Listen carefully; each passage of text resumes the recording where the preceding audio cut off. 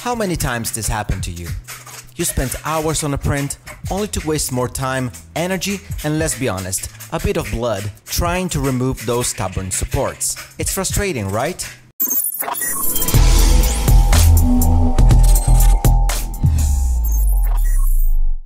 Hi, my name is Alessio, this is PixelForge Lab, and welcome back to my channel, or welcome if you're new to the channel. But what if I told you there is a simple fix? Today, I'm going to show you a game-changing setting in Bambu Lab Studio that will make your support removal nightmares a thing of the past.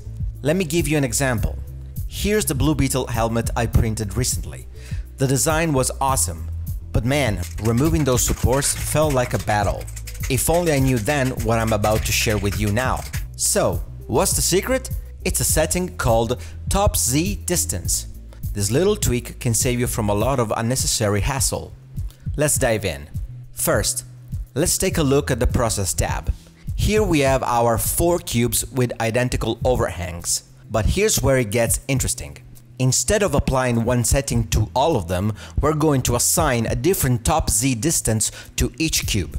This way we can see exactly how each setting affects support removal. I will set the first cube to the default 0.2, which is pretty tight and tough to remove. The second will be 0.25, a slight improvement. The third cube will be at 0.275, which, in my experience, is the sweet spot. And finally, the fourth one at 0.3, which might make the supports too loose and could even lead to failed prints. Now, let's see these prints in action. As you can see, they are all coming out nicely, but the real test comes when we try to remove the supports.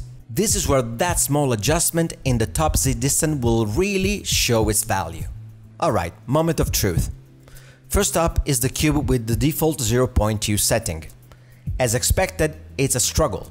The supports are stuck, and I'm risking damage to the print just trying to get them off. Next, we have 0.25. Slightly better, but still not ideal, there's still too much resistance. Now, here's the sweet spot, 0.275. The supports come off cleanly with just enough resistance to avoid print failures. This is the setting that strikes the perfect balance. And lastly, 0.3. The supports are almost too loose, which can lead to issues with print quality.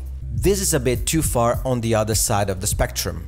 As you can see, a simple adjustment like the top Z distance can make a huge difference in your print's outcome. Depending on your material, object size and orientation, you will want to dial in the setting that works best for you. For me, 0.275 is the sweet spot for Bambu Lab PLA Basic, but yours may vary. So, the next time you're still struggling with supports, remember this little trick. It could save you a lot of time and maybe a few fingers.